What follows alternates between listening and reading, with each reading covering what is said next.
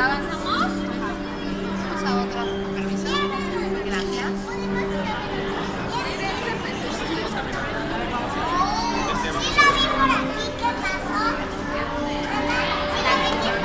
A todos los que acaban de llegar en esta zona van a empezar su recorrido por el acuario observando los cardúmenes. Un cardumen es un conjunto de peces formado para que se protejan de sus depredadores, se facilite la reproducción entre ellos, cuestiones de migración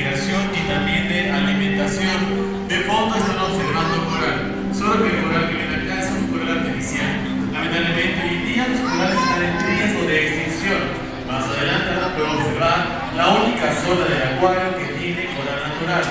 Los peces plateados que ven en la parte superior, esos son los peces sábalos y también van a poder observar a algunos tiburones como el tiburón leopardo.